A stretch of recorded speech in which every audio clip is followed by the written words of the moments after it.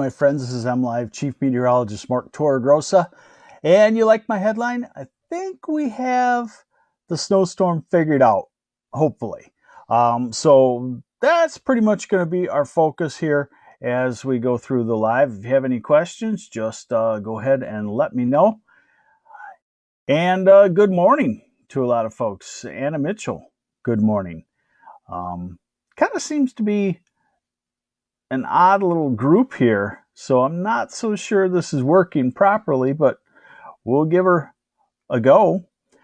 Um,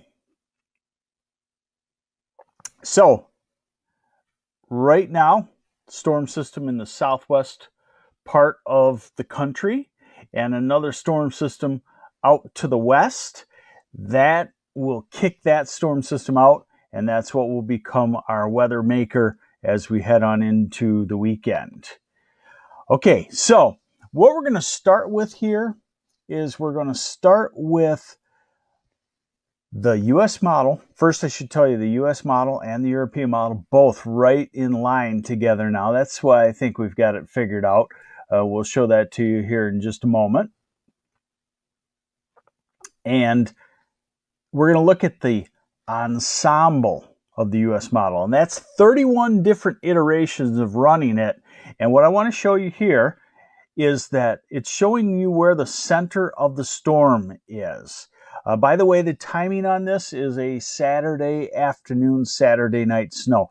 But look at when we get to Saturday afternoon, say 1 o'clock or so. All those little circles there, that shows you that the US model, although not exact, it's kind of clustered everything into a storm center coming across southern lower Michigan. And that means the cold side of the storm, the snowstorm side, is in the northwest half of lower Michigan. And then we're at Sunday morning and it's on to the east. All right, so we're going to start to uh, compare here.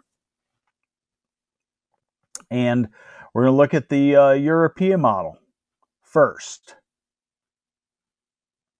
Okay, so this is, let's go back to Friday afternoon. First off, we got a great day today. By the way, we also still have uh, a delay of one day on that um, geomagnetic storm. So northern lights possible tonight, and we could have uh, clear skies. So that would be good news. This is Friday evening. The precipitation starting Friday night, Saturday morning. Uh, let me make sure I got the proper perspective here for you. Sorry. That's better. Nobody's talking to me this morning, so I don't know if this is working properly or not, but I'm going to continue to go. It looks like it is. Okay, so this is Saturday afternoon. Now we're going to compare this. This is the European model, so you can see the rain snow line Saturday afternoon, uh, somewhere from Big Rapids to Mount Pleasant, Midland, and the north side of Bay County. That's the European model. And one in the afternoon, Saturday, US model, about the same, maybe 10 miles farther north and west something like that. So, European, US. European model, uh, Saturday evening, 8 o'clock. There's the snow. It's falling good in uh, Big Rapids. It's falling in Houghton Lake and in Tawas and in Alpena. Pretty hard at that point. It's raining in Saginaw. It's raining in Grand Rapids, mixed with snow maybe. Um, it's raining in Flint. It's raining in Detroit and Ann Arbor and Lansing and Jackson also. Here is uh, Saturday night and Sunday morning. Sunday morning European, Sunday morning US model. The US model is usually six hours fast. That's one of its pitfalls that we found, okay? So, uh, so this is a, a Saturday afternoon into Saturday night uh, snowstorm. All right, now totals. And remember, I want to remind you that I still think the European model has overdoes it. Even out at this time period out, European model is usually a few inches too much on snowfall.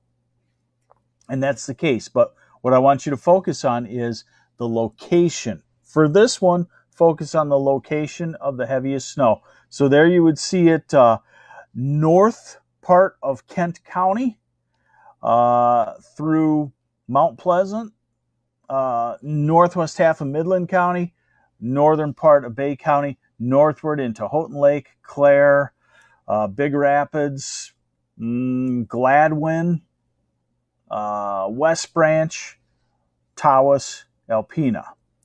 US model, about the same. Maybe again about uh, 10, 20 miles farther to the north.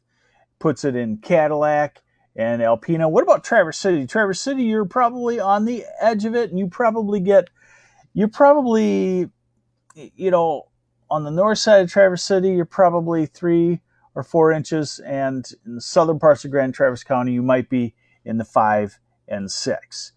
And then finally, the one that I like for you is from the National Weather Service forecast. This is a human made forecast. And we'll put it so you can kind of see it. Uh, bear in mind, again, those of you in the south, you're not looking at a snowstorm from Saginaw to Flint to the Thumb to Ann Arbor, uh, Jackson, Detroit. You're looking at maybe an inch once it turns over, maybe, yeah, probably an inch. But there you see the six to eight inch band. So I've been all along calling this a four to eight inch snow. I still like that idea. Um, the six to eight inch band, um, Big Rapids to Houghton Lake to the northeast corner of Michigan. Uh, Grand Rapids, it tapers off rapidly from just north of you. Big Rapids to Grand Rapids is maybe an inch or so. Muskegon, you're also probably in the warm sector, but you're on the close end. Maybe you get one, two, three inches of snow or so. Um, and then you get north to Traverse City, and that's a it's a four to six inch snow, but probably more on the four, something like that. So there you have it. Let me slide it down for some of you snowmobilers heading north. This is a solid snowmobile snow. And once it's all said and done, so Sunday in Houghton Lake, you might be able to snowmobile and you might be definitely able to uh, snowmobile around the Alpena and Oscoda areas by the time we get to Sunday morning. All right, hopefully you all got this. I'm not convinced that it worked properly because I don't see anybody's comments flowing through here, but sometimes they have problems on their end. Uh, thanks for joining me on the MLive Morning Weather Update. I just gave you a snowstorm update, and we'll continue to update that and fine tune it a touch. I don't expect a lot of major changes, but you know, it could always be a 10, 20 mile, 20, 10 or 20 mile tweak northwest or southeast, something like that. Do expect we'll probably have a winter storm watch by Mm, probably by this afternoon through the central part of the state. And I'll keep you updated. Thanks for joining me on the MLive Morning Weather Update. I'm MLive Chief Meteorologist Mark Torregrossa.